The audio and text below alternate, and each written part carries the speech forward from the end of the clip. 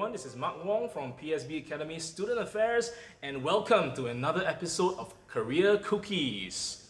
Hi, everyone. we have a familiar face on campus today, and that's none, uh, none other than Mr. Steven Loo, who's the director of HR and training consultancy firm Stevenson Hureca. Now, if you remember, Steven was also our trainer for a string of career workshops covering topics on networking strategies as well as getting ready for the corporate world. Now, on top of being an established management consultant and corporate trainer, he's also an executive search consultant. Now, tell us a little bit about that. Well, executive search is Mm. something, uh, you know, privileged people and companies have access to, right? And normally for us in this line, we have to keep very private Mhm. and confidential for the executive and also for Right, the clients. right. Yeah. Uh, certainly, this is basically uh, skills as Mm. well, trying to identify those people that fits the organization. For us, in particular, we have uh, the added edge in the sense that we Mm. look for people that fits the right culture, Yeah. other than the basic technical skills and management know-how. Mm. Yeah. So I hope that explains uh, some of the aspect of it. Absolutely. Now, as we all know, we are right in the middle of a very different economy right now, and uh, we are living in the shadow of recent US trade tensions with uh, China. And now we are put even further to the test in light of the COVID 19 crisis. Now, from an executive recruiter point of view, what's your take on the hiring climate? Well, I think uh, certainly the hiring has slowed Mm. down. I think, the, uh, but it will be for a short period of time. Mm. Naturally, I think uh, the, hopefully the crisis uh, will blow away. Mm. Yeah, just like what happened with SARS. Mm. Now, the key thing is that as a job seeker, Mm. one should not give up. Yeah, no doubt you may get a lot of rejections or even things put on hold.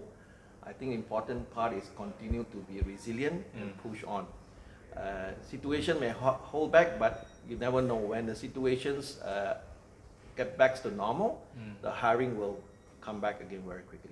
Oh, absolutely. In fact, Steven, earlier, uh, earlier on, we were just uh, discussing, you are no stranger to crisis, Mm. given your experience uh, during the SARS period. Now, could you share a little bit about how you overcame uh, adversity uh, during that time? Well, um, back I think some 17 years ago, I Mm. was actually working for a global IT MNC. Yeah, Mm. and I left the company, and then uh, it took me a long while, about 18 months to land the next job. Yeah? Uh, I was early 40s then. Mm. Uh, there were various various challenges and difficulty, yeah, and time and again, uh, yes, it was a difficult period, but it took me a while to search and identify where the skills, where I'm lacking, and how should I improve. Mm. Yeah. So we have to continue to find ways how to improve oneself and never give up. Yeah. Uh, but important part is uh, to stay positive, resilient, and continue to find ways to upskill. Mm.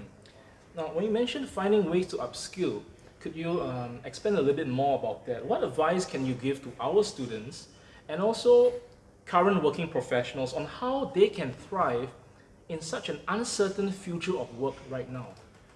Okay, Mm. um, I think the situation that we're facing right now is not going to end or Mm. go away, right? Future in future times, are going to be a situation like this. But having said that, even without this crisis, I think we are seeing a lot of disruptions. A word called VUCA will come across uh, familiar with some of you. Mm. It actually stands for volatility, uncertainty, complexity, Mm. and ambiguous. Mm. Now, this is caused by a lot of disruptions due to technology. Mm. So important is that one has to overcome four important barriers. Yeah? Let me That's simplify it for you. Mm. Four. What are the four? First is about overcoming fear. Mm. Every one of us got fear. Fear factor, we call it. Mm. Yeah? So first of all, we must overcome that fear. Yeah? To take the courage, to take the first step and cross the line. Yeah? That's one. Second is basically you, you're referring to uh, about uh, self-leadership. Mm. Self-leadership refers to about personal self-esteem, confidence, Yes. proactiveness, and ability to uh, what they call uh, learn new things and do Mm. things that has never been done before. Yeah. The third is about skills. All of us would have to practice lifelong learning. Yeah. Yeah. Today, now uh, anybody can be a technical graduate or even an arts graduate or science graduate. The key thing is that when you graduate, you're not perfectly uh, honed for us jobs in the market. So as you go along, you must learn to identify the gaps that each and every one of you have. Correct. Has, right? And learn to improve on it and gap it. The fourth is basically seeking a mentor. Yeah. Uh, I noticed that a lot of young graduates coming out or even uh, working professionals, I think they lack to have mentors to guide them. It's so important in life to have a life coach or a mentor to guide you as you go along, depending on your career. Seek out those people in the professional line to help you. Because it did, especially for those who have more years experience, mm. not necessarily a senior, a more senior person. Sometimes young people with the right experience, they can guide you in a particular skills and domain.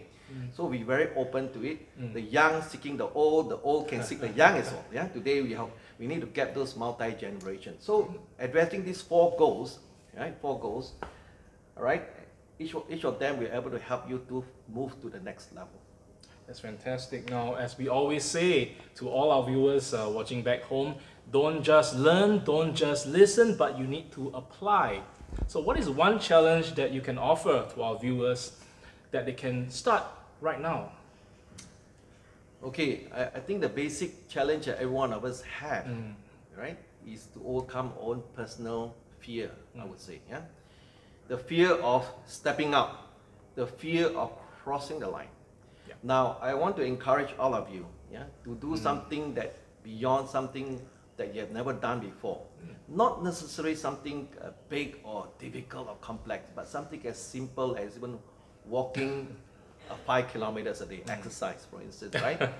now, Yeah. a lot of us may be postponing a lot of things time and again. Now, important thing is to self-discipline, take the courage, and commit oneself to achieve small, little, incremental goals. As you go along, right, you slowly increase those kind of uh, goals, and the more you do, the more self-esteem and confidence will come in.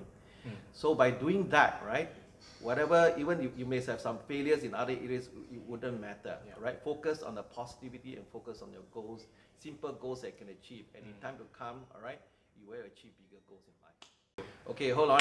I would have one last message for all of Oh. you. Yeah. Hmm. Now, I like I want to quote uh, uh, an author, speakers, all right, who has written this big book, uh, which I read some 20 years ago. His name is David Schuller. Now, he gave one particular quote during a tough time period. So, some of you are going through this tough period, right? Now, one the quote is inspirational. It's, it says, "Tough times don't last. Only tough people do." With that, I want to thank you for listening to this uh, talk and hope it encourage and inspire you to move forward.